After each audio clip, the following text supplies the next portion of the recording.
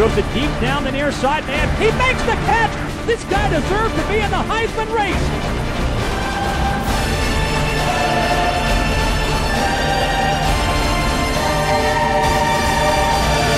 Back to pass, whips it over the middle. Big catch made by Onion.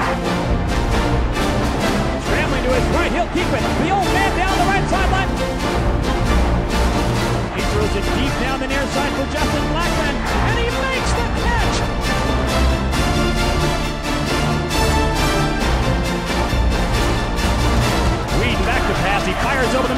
is caught in the end zone for a touchdown.